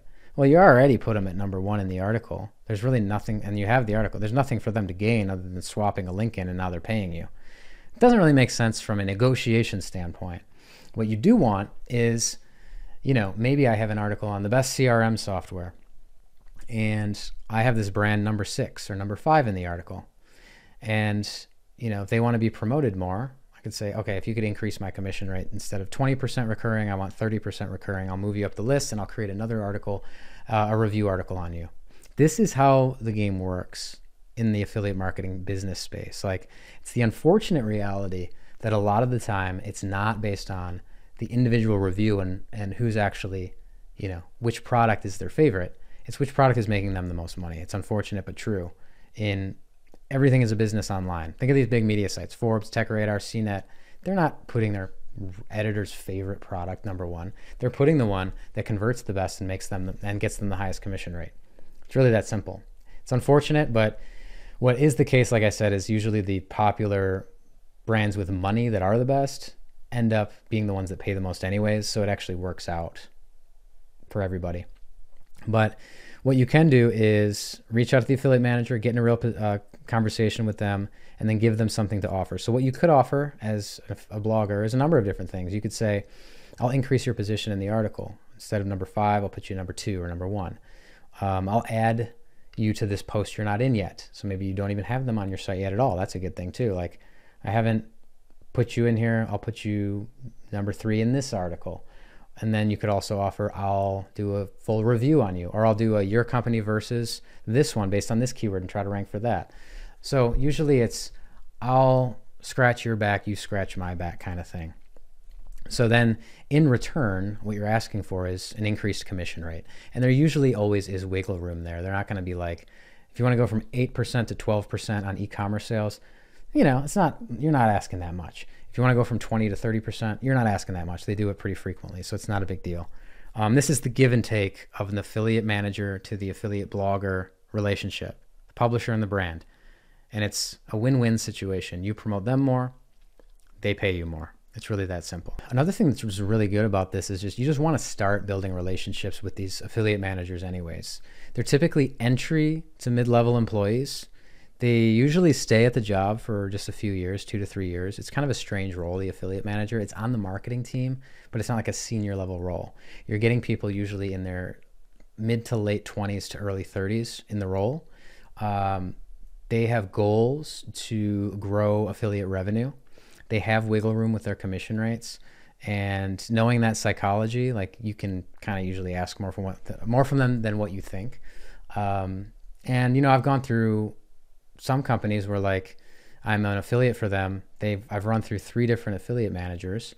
I've talked to three different ones and kind of start negotiating with each one as a new one comes on because they're looking for growth goals. So as a blogger, you actually get to outlive most of these people in the in the relationships that start. So it's good to, you know, make sure that you do have a good relationship with these people because they can there can be advantages that you can get. You know you can ask for things. You can say hey you know this affiliate thing is working well but would you want to sponsor this? Maybe they could you could put them in a, uh, an article as a sponsor instead and now you're just guaranteed a flat rate right? I did that with podcast hosting in the first few months where i would have made only you know maybe 208 two, between 2 and 800 i can't remember the month for buzzsprout but they're like I was number one for podcast hosting. We'll pay you five thousand dollars a month, and once your recurring commissions hit that, then we will, you know, you'll exceed that like normal.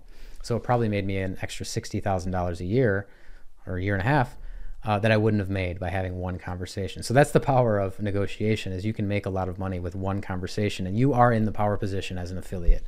Don't forget that. Like if you have traffic and you have a brand in your article, they want to be promoted. They want they want this traffic you don't they wouldn't want you to delete them or move them down right? And this is oftentimes where brands play against each other over time. Some of the top ones it's gets cutthroat.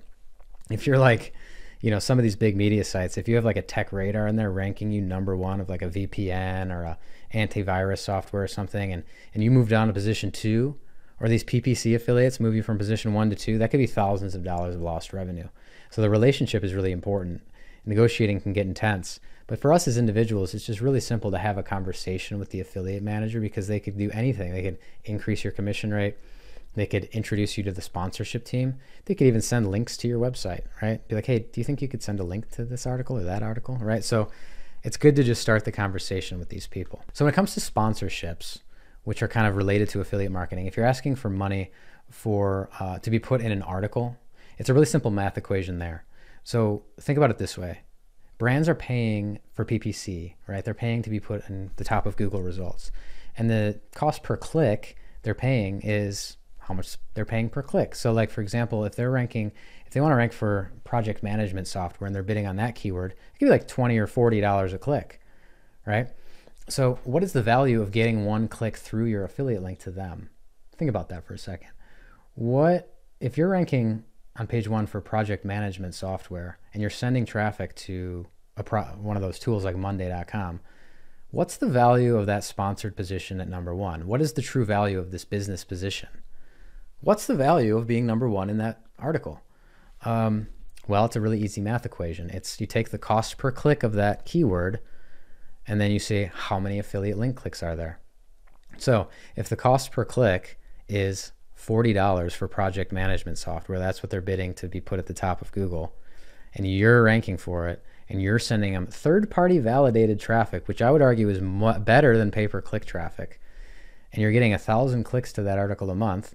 Well, then that sponsored placement, number one in your article on project management software, should be worth $40,000 to them. Technically. Now you could drop it in half and say, I'm a good guy. Uh, I'll do 20,000. It's still half the price of your pay per click ads right? Now that's an extremely high example, but you could think about your own niche. If you're like ranking number one for something random, like the best freeze dryers, right? You freeze dry food. I'm getting a thousand, uh, let's say 500 affiliate link clicks. Oh God, this math's going to be hard. And the cost per click is easy one, $10 per click. Maybe you do the math. You say cost per click, 10 times 500 clicks, $5,000. I'll charge you, I'll be reasonable, $2,000 for this sponsored placement. So you do that math equation based on the value of the keyword, how much traffic you're getting, and then you give them a deal, and that's the monthly cost. Now, this can fluctuate because rankings fluctuate, but I've had individual deals where we made you know $60,000 for one sponsorship for the year. One payment, 60 grand boon, one article. That wasn't even on page one most of the time. So it's kind of interesting. And then when it comes to YouTube sponsorships, that's a little bit different, right? You have to have somewhat of a following. Um, that's typically five cents to like 25 cents per view, depending on the company you're working with, how relevant they are to you. You can find really relevant ones and they'll pay you more. So uh, that's a little bit of a different strategy. So running an affiliate marketing business is interesting, right? You create content, you put it out in the world, you optimize your affiliate links, you just keep publishing stuff, and you hopefully can free up your time to do some of this negotiating and commission rates and just bump up revenue and make these little tweaks which typically requires you to scale your affiliate marketing business. So we're going to cover how to scale. So scaling a blog is really simple. Hire one writer, right? So get some traffic, make a little bit of money, and put that money into one writer. That will free up the most of your time to do these other things. Join the programs, talk to the affiliate managers. Then that's the beauty of blogging rather than YouTube is like you don't have to be on camera. You can just outsource this writing, right? Train someone really good on how to write these articles, give them the exact framework, the exact surfer scores, make it numerical and make it really simple for them. But then you get some of your time back to focus on that other stuff. So when you want to hire a writer, I hired one on um, the Pro Blogger job board. So I just posted a job. I said, this is my niche. This is what I'm looking for. This many articles a month. I got like 50 applications, went through them. I gave three a test. So I said, write this article. Here's some guidelines. And then I uh, picked one based on speed and quality. So like if they took two weeks to write it, I'm like, eh, it's probably not the best idea. A lot of these are freelance people doing a lot of work. So, but yeah, there's no perfect formula for hiring a writer, but you want to pay them fairly. You know, this is a real job. You don't want to, you know, in the world of AI and all this stuff, you don't want to shortchange people. I see some people like, oh, bragging about how little they pay their writers, and it's like, dude, that's insane. Like, don't don't brag about that. You know, we pay the writers pretty well. You know, at least $300 minimum an article, simple ones, short ones. So, um, again, that's a pretty fair price. You could probably do $200 an article, 10 cents a word. You know, it just really depends. Just do some research there. So, scaling is hiring one writer. If you want to scale your blog further, you can hire an assistant, do all your outreach, guest posting, all that stuff. I have other videos on that. Scaling a YouTube channel is one editor, right? So, freeing up your editing time would be huge. So, you're just planning a video, shooting a video, then you're done. They edit it, they upload it, they add all the links in, they do everything. Right? So that's how you scale. You, you just find the thing that takes the longest in your affiliate marketing business, the most the task that takes the longest amount of time, and that's what you get rid of. And usually that's doing some of the grunt work of the content. So a writer would do that and a video editor would do that. This frees up your time to join the affiliate programs, add links in, manage your business. Do the you never want to give up the strategy. The keyword research you always do. You always run the strategy of your affiliate business. You can meet with the affiliate managers, get sponsors, plan a better content strategy. So when it comes to this, I usually like monthly will look and pivot and adapt what the keywords are. So if we're publishing a certain amount of articles every month, I'll take a look at analytics. I'll take a look at what's going on. I'll see what new articles are doing well, and then we pivot the strategy on a monthly basis, right? This frees your time to do the real stuff though, because then you can start building courses, building offers, building sales funnels, running an actual build business, right? Hiring a sales team. You can grow this thing really big, and affiliate marketing is really just the entry point of all of that. Another question I get asked a lot is can you scale with AI? So, yes, but maybe not how you think. So, no, you don't want to write everything with AI like an affiliate article, like ChatGPT hack. Hey, ChatGPT, write this thing. Um, you can even go in depth with prompts, right? Write this article in this format with this tone that passes plagiarism that's written in a funny thing and really try to tweak it now maybe in a couple years that'll be more of an option and it'll be better and it'll but it's not really right now it doesn't work well from a ranking perspective on google it's just not helpful it's not based on human experience chatgpt is only updated in 2022 i'm not saying that it'll be like this forever but ai is a tool AI is an interesting tool. You can use ChatGPT to find really good affiliate opportunities. So, for example, you can ask ChatGPT stuff like, give me 10 affiliate marketing article ideas in the telescope niche, right? Luxury telescopes, high end telescopes, beyond binoculars. So, it'll give you, it gives you some general ideas and it gives you good ideas and outlines like uh, expand my topical authority with five article ideas on this thing, or what are some other keyword ideas here. But to write the actual content with AI, I do not recommend at this time. Same thing is true of like AI and YouTube. Like, and I know we're like a year or two out from crazy amounts of like AI video content and all kinds of AI tools. There's already some around script writing and different things like that. And I'll probably have enough content on the internet of myself and my voice to just make some fake version of me somewhere. But for now, it's really not that way.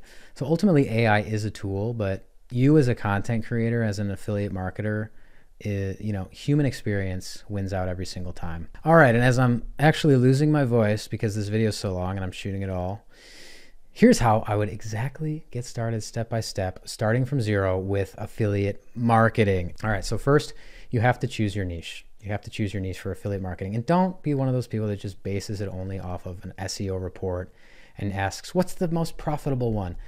That doesn't usually work, right? You have to base this thing on your life and something that you can build in the background of your life for a while. So in Blog Growth Engine, we have a system called the Authority Flywheel, which is a brainstorming exercise to help you choose your niche. And that's based on you, your expertise, the market, and advantages. Those four things in a flywheel. So a flywheel is one of those things that every input affects the entire system. So first there's you. And You are only you. You are a unique person. No one else is like you. There's billions of people on earth, but only you are you. What can you say? What message do you want to share? What niche do you actually want to be in? Then we have your experience. So do you have any professional experience, hobby experience, interests, anything? You don't have to be an expert in anything, but if you have a, somewhat of an interest, that can be helpful too. Maybe you're a beginner beekeeper. Interesting to learn about as you learn, right? So it's all about honesty, being where you are. But think about your experience, right? Next, you think about the market. So that's where you do the keyword research to find, hey, how big is this niche? Maybe it's too small. A lot of the times it comes down to people do I pick my professional experience or my hobby? It's like one's like, I'm a software developer or I'm a, you know, I'm a marketer or I'm an HR, but I also do CrossFit or I do knitting or I do like underwater basket weaving. Who knows? The answer usually is what is your pain tolerance for ranking this stuff and how long do you want to, you know, try stuff with it failing? Because there's a lot of niches that are easy, there's a lot of niches that are more difficult, but you just have to know how to find the opportunity. Usually the ones that are based on hobbies and things that are interesting to you are going to be easier than things that are like professional experience, business, software stuff. It's just really hard. Um, but the hobby stuff is really interesting and it's easier to rank for. You can make a lot of money with affiliate marketing, ads, courses, all of it. And then the final thing is advantages. So, what advantages might you have, right? Do you have a, a brother that's the president of the United States? That'd be cool, right? You might be old though if it's Joe Biden. I don't know. But uh, do you have a bunch of equipment that you already have, right? A uh, bunch of photography gear that would help, or do you or do you work at a company where you could leverage it to get referrals for writers or an agency or anything, right? So everyone has different starting points in life, starting lines. So think about that too. And we have to remember the key to all of this is you don't have to be perfect at the beginning. Because what we want to do is we want to build a personal brand around you because a personal brand can pivot and adapt when it gets difficult. Personal brand can pivot to YouTube, it can pivot with social media, it can pivot its content strategy because a domain name can be broad, right? Mine was at my name. But if I pigeonholed myself into something really small, tiny niche site, and I tried this strategy based on an SEO report, I would have failed. And it wasn't because I didn't have the right SEO strategy or the right keyword research or the content strategy. It's because we there are unknown variables when it comes to this algorithmic based business. Right? We can think based on an SEO report we're going to rank. We can think that this keyword's good. We can think that this niche is good. The truth is we just don't know until we start publishing stuff. Uh, there's plenty of articles I thought were going to make money that didn't. There's ones that I thought would make no money that did. So the key is publishing. The key is giving ourselves the freedom to pivot in business. And that's really important too. Like if I just called my website the e-commerce guy and I only focused on e-commerce platforms, my experience and BigCommerce, Shopify, how to build, you know, drop shipping, how to build an e-commerce store, all that stuff. It would have maybe worked, but it also would have gotten really competitive and I would have been blown out of the competition. My site would have lost a lot of traffic probably to bigger sites picking just that niche, the traffic might have dropped, right? Certain niches come and go. Search volume goes up and down. So, um, choosing your name as the website name is key because then you can just pivot anything. You can just change the strategy until you find out what works. So, with this authority flywheel, you kind of write everything down in a document, all your ideas, your likes, your hobbies, your professional experience, any advantages you have, and then you just come up with doing keyword research is kind of the, the step to look at finding what actually could work for you. So it's like, you know, long term, it's not, oh, these two affiliate keywords could be good. It's like, no, you need to spot the seed phrase for your informational content that you can say, identify here's 50 or 100 articles that are easy to rank for that I can create. And here's 20 plus affiliate articles that are easy and I can create, right? So this comes to niche experience. Like you don't have to be passionate about the thing that you're writing about when it comes to affiliate marketing, but you do need to know a little bit about it, I think, because it can help you spot those new and emerging trends. And when you build a blog, it's like you're riding a wave. So you're publishing content, publishing content, affiliate content, info content. You're getting domain rating up, you're getting topical authority so that by the time that next product comes out a year from now, the thing that actually is new and emerging and you hit it and you hit that timing, it's almost like you're jumping on the surfboard and you are riding that wave in the number one position for years to come. So everything you do, what I like about this is every piece of content on YouTube and blogging, none of it's lost. It's almost like little investments in your future. With a blog, especially in a YouTube channel, every piece it's setting you up for the next piece of content and the next piece of content to have more success. Because with a blog, you'll have more topical authority, you might have more links. It'll be easier in the future with the YouTube channel, you're getting more and more subscribers, more and more. The algorithm understands your channel, right? So it's it's really playing the long game. And so that's important too, is basing it on yourself, playing the long game, and thinking about what do I want to talk about for the next possibly five years. Because the truth is, even in this YouTube channel, I'm talking about blogging and affiliate marketing, and there's only so many angles I can take on it because the the audience is very interested in blogging. I would love to talk more about YouTube stuff that we're doing how we're making these videos, how we're selling stuff on the videos, affiliate marketing in the videos. But when I make them, they don't get clicked on and they don't get in the algorithm because people that are typically subscribers of my channel currently are more interested in affiliate marketing and blogging. So I come up with a lot of new angles and a lot of new things based on the year because everything's always changing and evolving. But, you know, based on my name, five years from now, I probably won't be talking about blogging maybe. I would be talking about blogging and a few other things, right? So you want to give yourself that freedom. You want to be able to build a business that will stand the test of time. And I know it's not the flashiest, fanciest thing to talk about in a video like this, but it makes the most sense. All right, before I lose my voice, we're going to continue on. Um, all right, so you, you pick your niche, put it at your name. Don't perfect it. Don't go too narrow either, where it's like, I'm going to go after vegan hot tubs. It's not a thing, but it sounds cool. You know, you can kind of start broader and be like, I want to go after typical spa, sauna, hot tub, pool type stuff. I don't know exactly, but I'm going to find it. Right? You don't have to choose the perfect thing. But you don't want to go too wide where it's like I'm going to be an affiliate about gardening and basketball, two completely unrelated things. You could do gardening and homesteading, but just keep it a little bit broader at first because you can pigeonhole this and not pigeonhole this, figure this out based on data over time and what what articles are getting traffic, what videos are working.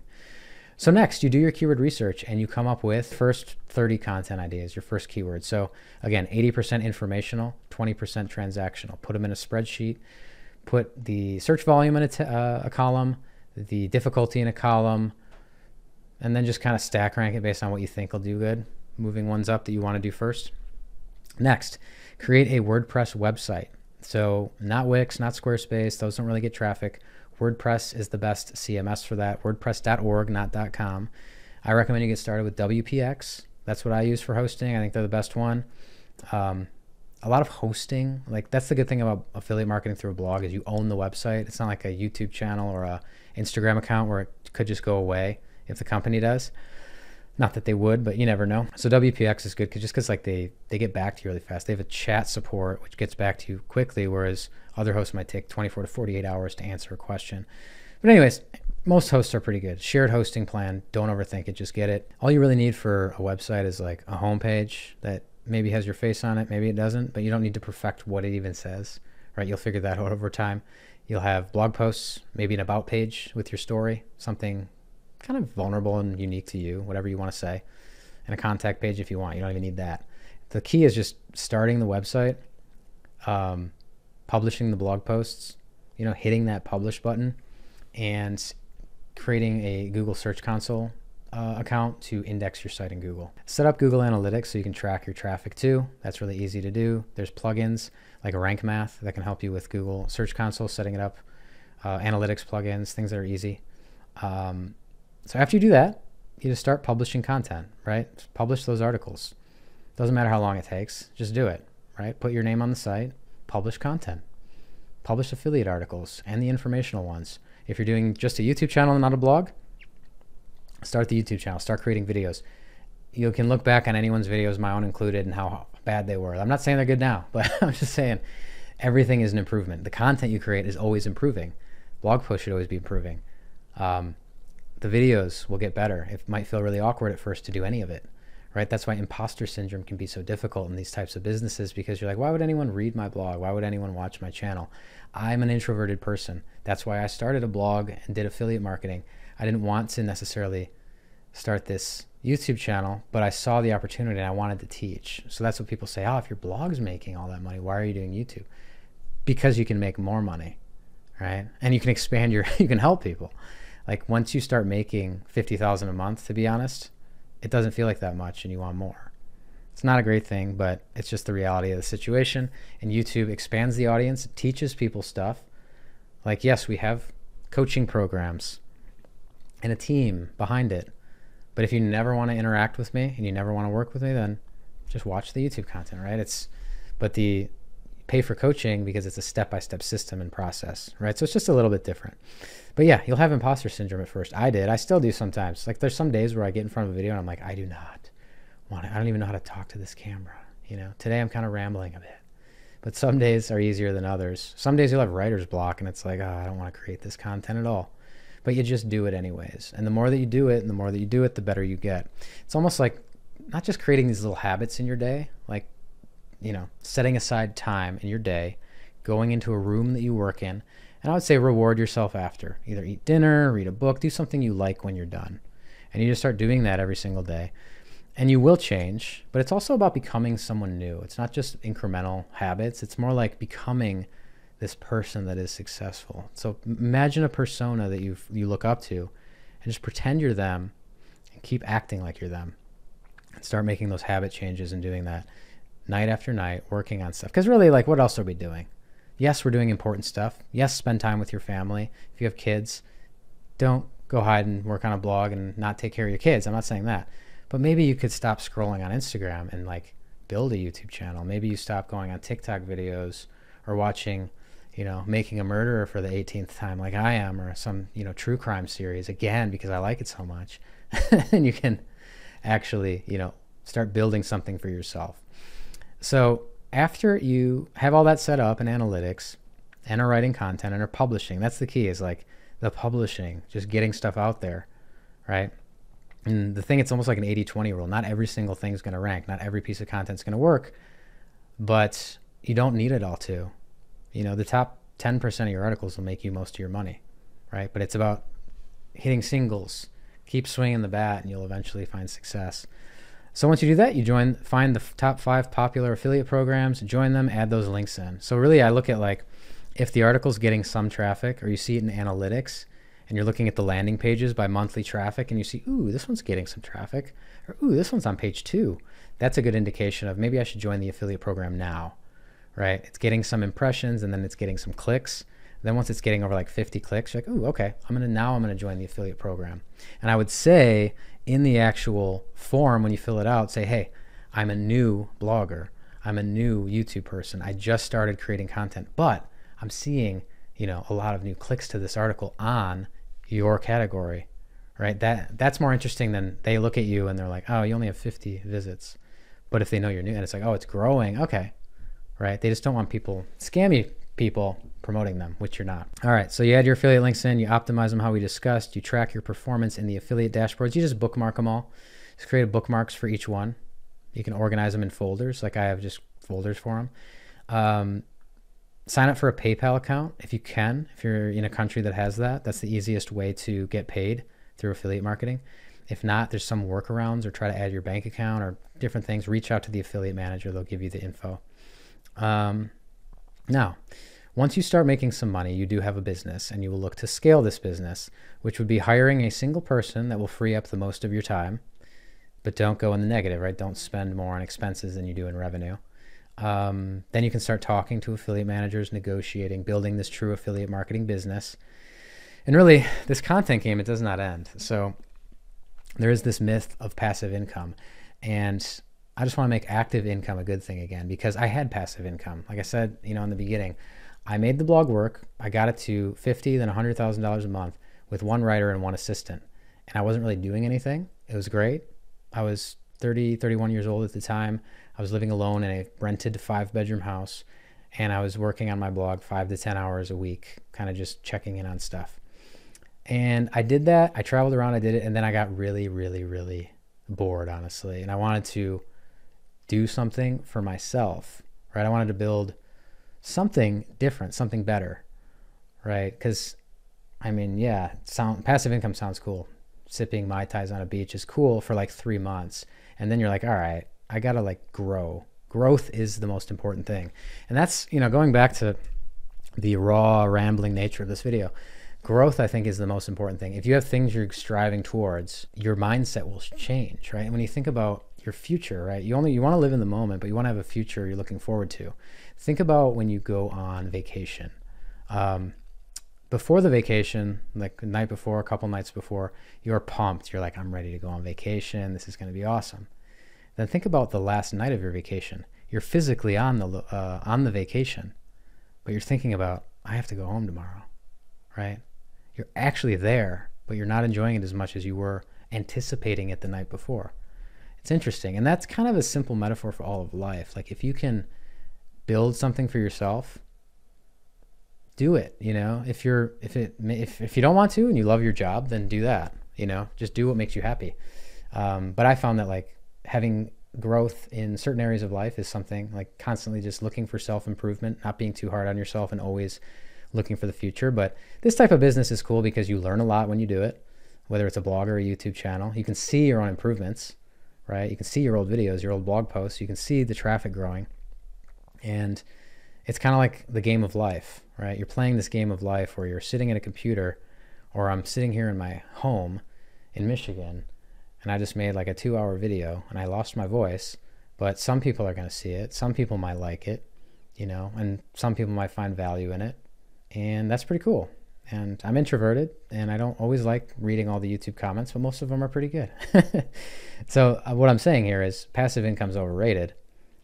Real income is important um, because it gives you time freedom. I never cared too much for being rich. I just wanted the freedom to spend my time how I wanted to. So this content game never ends, though. So I hope you enjoy it. So find if, either if it's blogging or YouTube, whatever way you're doing affiliate marketing um, make it enjoyable because you can turn it into a real business but a year later when it is your real business hopefully you enjoy it um, so again affiliate marketing this is a course right we covered a lot we covered why it exists all that stuff the fundamentals adding links creating the content keyword research uh, running the business negotiating pretty much everything i could think of in creating a script for affiliate marketing um, but I like it. You know, it's it's it's a weird a word that I learned back in 20 whatever 17 or so.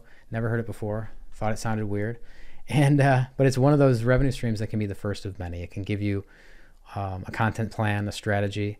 It can give you your power back. It can siphon some revenue into your website or YouTube channel from other brands' products. And it works by putting some simple content out there on the internet. So you don't have to create your own product. You don't need an audience to get started. It is not a get rich quick scheme like many videos might tell you. It is not a way to post uh, Facebook ads to your grandmother for, from ClickBank and then look at a dashboard of some guy like this on YouTube. So um, I'm not going to promise you overnight success. I think the main thing is just building, I don't care what kind of business it is, just building something for yourself and no one else. It can be a lawn care business, it can be anything, but I just look at, you know, the way it is in America today, and it's just inflation. Things are getting tougher. So, uh, yes, there's careers. Yes, I was in the golden handcuffs of making just over six figures a year, but working 50 plus hour weeks and being stressed out and driving in traffic, doing things I didn't like. Um, I would rather have like 40 grand a year doing my blog or a YouTube channel, doing something that I control, right? So it's possible. It's just you know, you get the shiny object syndrome. You see a thing, you get excited about it. You watch this video, you say, I'm going to do it. And then you start doing it, you realize, like, oh shit, I don't know how to do this part of it, or it's hard. And then you fall into that pit of stopping to do it. And then you find a different thing you want to do. And then it keeps going up and down. Whereas I like this version because you don't know what roadblocks you're going to hit. You don't know what you're going to get stuck on. And you will get stuck on a number of different things. Uh, now, I did. Um, but when you push through that roadblock, this is the best model because you can afford to make the mistakes when it's YouTube and blogging. You delete the blog post, you pivot the content, you change the strategy, you mess with the thumbnails, right? Like, so that's a long winded way of saying this thing takes real work, but you know, hopefully you can make an impact with it and you're not just looking at some get rich quick thing for affiliate sales.